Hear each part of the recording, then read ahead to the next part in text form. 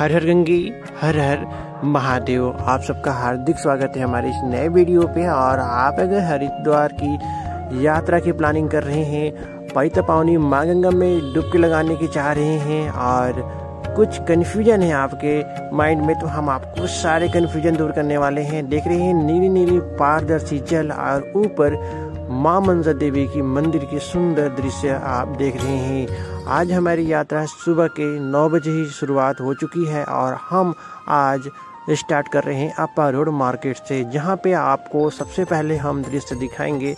बिना लहसुन, प्याज के नाश्ता कहाँ मिले? देख रहे हैं, काफ़ी सारे श्रद्धालुओं का कहना था, बिना लहसुन, प्याज के खाना और नाश्ता का ज़रूर आप दृश्य दिखाएँ तो आप ऐसी स्टॉल पे हैं जहाँ और नाश्ता, यानी आप कर सकते हैं वो भी बिना लहसुन प्याज के। तो चलते हैं। आप यहाँ पे हर की पैड़ी के पास है आप ज़रूर आए और नाश्ता कर सकते हैं। और हमने काफ़ी सारे ऐसे वीडियो बना रखे हैं जहाँ पे आपको खाना और सारी सुविधा बिना लहसुन प्याज के ही मिल जाते हैं। आप अगर हरिद्वार की प्लानिंग कर रहे हैं और सोच रहे हैं कि गंगा घाटों में किस टाइम आपकी एंट्री हो तो आप 10 बजे के बाद एंट्री करें, क्योंकि बर्फीली हवाओं की गति लगातार बढ़ रही है और माँ गंगा की जो जल है, वो आपको पता ही है, बारह महीना काफ़ी ज़्यादा ठंडा होती है। और ये जो वृक्ष आप देख रहे हैं, एक या दो साल पुराना नहीं, पूरे तीन सौ वर्ष पुराना है। और यहाँ पे बाबा जी बैठते हैं और बाबा जी के दर्शन करने के लिए और बाबा जी से मिलने के लिए लोग हज़ारों किलोमीटर दूर से आते हैं। आप भी जब आए तो यहाँ पे बाबा जी से दर्शन ज़रूर करें। माँ गंगा के निर्मल जल में डुबकी लगाने के लिए श्रद्धालु देश से ही नहीं, विदेश से भी आते हैं और यहाँ की जो आरती है, खासतौर पर संध्या की आरती, काफ़ी ज़्यादा फ़ेमस है। तो आप दर्शन ज़रूर करें आरती का। आप अगर आरती के दर्शन नहीं किए तो आपकी यात्रा हरिद्वार की कहीं ना कहीं अधूरी रह जाएगी। यहाँ पे गंगा जी की दो धारा आप देख रहे हैं। एक तो हर की पैड़ी से होके आ रही है और जहाँ पे आप आते हैं स्नान करते हैं, गंगा जी के आरती के दर्शन करते हैं और गंगा जी के आशीर्वाद लेते हैं। ये जो धारा है हर की पैड़ी से होके आ रही है, जो कि हमने आपको पहले ही बता दिया। देख रहे हैं कितनी ज़्यादा पारदर्शी, कितनी ज़्यादा नीली है और इस नीली जल में डुबकी लगाने के लिए श्रद्धालुओं की जो संख्या होती है काफ़ी ज़्यादा होती है।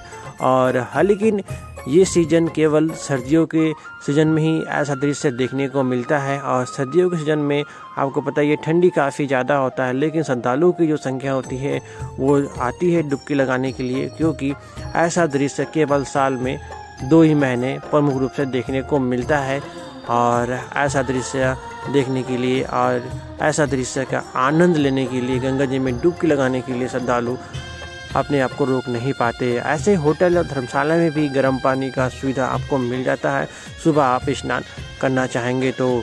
और ये जो घाट आप देख रहे हैं, ये है सबसे प्रमुख घाट हर की पैड़ी के पास, जहाँ पे अस्थि विसर्जन और मुंडन की विधि किया जाता है। ऐसे एक और घाट है, जहाँ पे अस्थि विसर्जन और मुंडन की विधि किया जाता है, जो कि मोती बाज़ार सुभाष घाट से होके जा सकते हैं।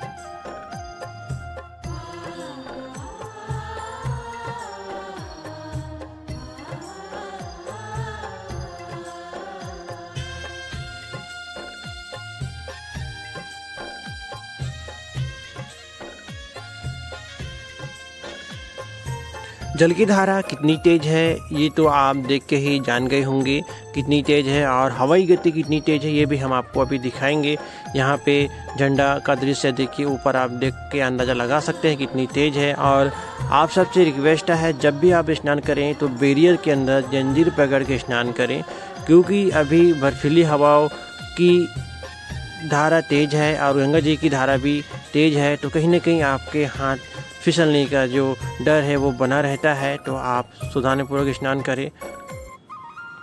और आप सबसे एक रिक्वेस्ट और है, जब भी आप हरिद्वार आते हैं तो गंगा जी में कपड़े ना बहाए। देख रहे हैं किस तरह से आपको यहाँ पे गंगा जी में कपड़े फंसे हुए दिखाई दे रहे हैं।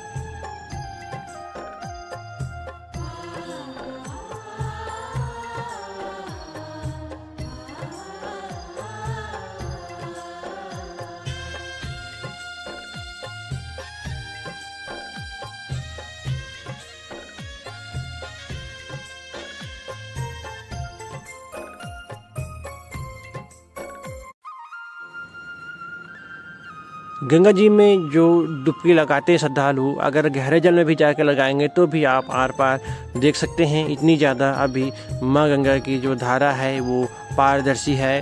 और आप अगर टेम्परेचर की बात करें, हरिद्वार में अभी तो सुबह आठ बजे तक जो टेम्परेचर होती है, साठ डिग्री होता है। उसके बाद जैसे जैसे दिन बढ़ते जाता है टेम्परेचर भी बढ़ते जाता है। ये हवाई गति का अंदाज़ा आप लगा सकते हैं कितनी तेज़ है। और धूप भी तेज़ है, लेकिन अंदाज़ा आप लगा सकते हैं कि धूप का एहसास यहाँ पे नहीं हो रहा है, क्योंकि हवाई गति काफ़ी तेज़ है। इसी कारण हम कहते हैं कि आप जब भी हरिद्वार आए ख़ास तौर पर सर्दियों के सीज़न में, दिसंबर और जनवरी के महीने में तो आपको 10 बजे के बाद ही आपको गंगा घाटों में आना चाहिए, जिससे आप आराम से डुबकी लगा सकते हैं, गंगा जी की आशीर्वाद ले सकते हैं।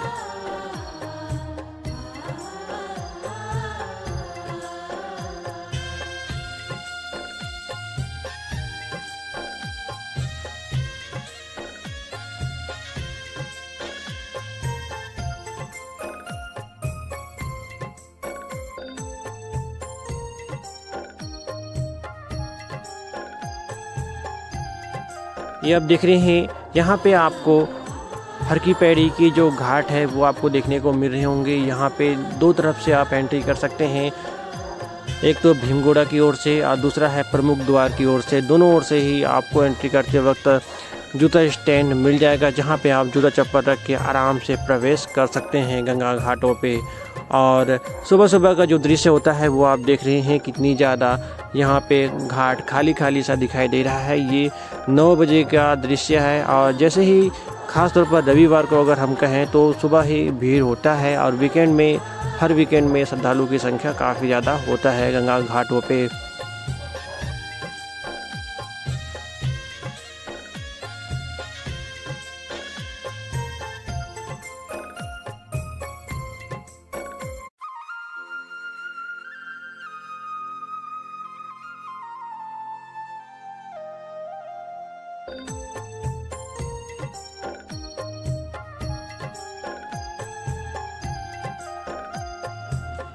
यहाँ से गंगा जी की जो धारा है, वो प्रमुख धारा आप देख रहे हैं और यहाँ पे देख रहे हैं माता जी खड़ी हुई हैं। ऐसी बर्फीली हवाओं के सामना आपको करना पड़ेगा। अगर आप अर्ली मॉर्निंग गंगा घाटों पे आते हैं लेकिन अभी धूप है तो भी से हवाई गति इतनी तेज़ है तो आपको हमने पहले ही बता दिया, धूप का एहसास बिल्कुल भी नहीं हो रहा है। आप हरिद्वार कब आ रहे हैं, ये ज़रूर बताएँ, कमेंट करें। और साथ में आज हमारे चैनल में आपको ऋषिकेश का भी लाइव वीडियो देखने को मिलने वाला है दो बजे के बाद। तो दो बजे के बाद लाइव वीडियो का ज़रूर इंतज़ार कीजिएगा और कमेंट ज़रूर कीजिएगा कि आप लाइव वीडियो में आए थे या नहीं कल की वीडियो में। उम्मीद है वीडियो आपको अच्छी लगी होगी। अगर अच्छी लगी तो लाइक शेयर ज़रूर करें। फिर मिलते हैं एक नई वीडियो में। हर हर गंगे, नमामि गंगे।